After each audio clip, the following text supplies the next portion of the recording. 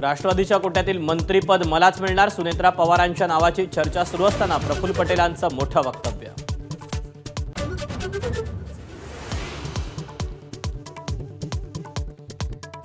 भाजपच्या मदन भोसलेंविरुद्ध सीबीआयकडून गुन्हा दाखल. किसनवीर साखर कारखान्यात घोटाळा केल्याचा ठपका. बँक ऑफ इंडियाचे साठ कोटी बुडवल्याचा आरोप.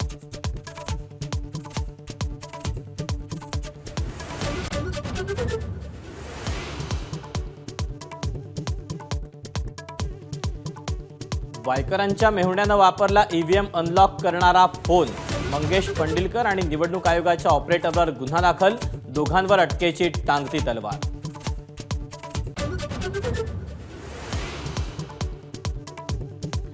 ईव्हीएमवरून आरोप म्हणजे विरोधकांचा रडीचा डाव. मतमोजणी सुरू असताना तिथं हजारो पोलीस तैनात होते.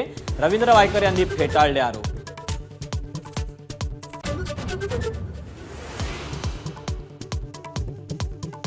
ईव्हीएम हॅक होण्याचा धोका कायम त्यांचा वापर पूर्णपणे बंद केला पाहिजे. टेस्लाचे सीईओ इलॉन मस्क यांचं मत तर भारतीय ईव्हीएम हॅक करणं अशक्य माजी केंद्रीय आय टी मंत्री राजीव चंद्रशेखर यांचं प्रत्युत्तर.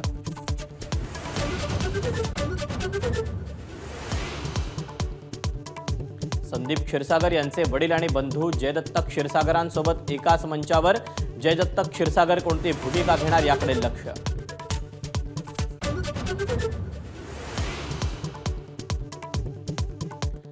ओबीसी आरक्षणासाठी आंदोलनाची गरजच काय? बबनराव तायवाडेंचा उपोषणकर्त्या हाकेंना सवाल?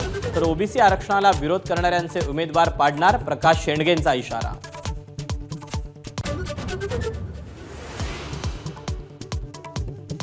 शिनाबोराचे अवशेष गहाळ होणं अतिशय धक्कादायक आरोपी इंद्राणी मुखर्जीची एबीपी माझाला एक्सक्लुझिव्ह प्रतिक्रिया.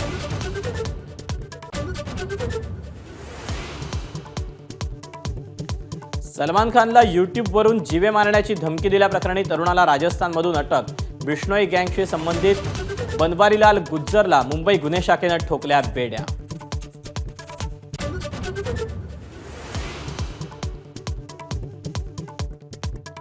एसटीचा पास आता थेट शाळेत मिळणार.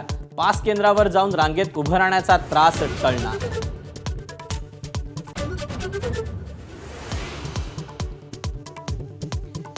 शिर्डीतील साईबाबांना त्रेचाळीस लाखांचा सोन्याचा मुकुट अर्पण देणगीदाराकडून नाव जाहीर न करण्याची संस्थानाला विनंती.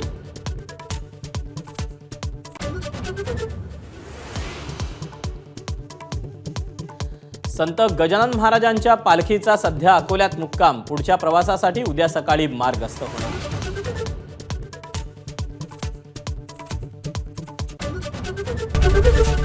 एबीपी माझा. उघडा डोळे बघा नीट.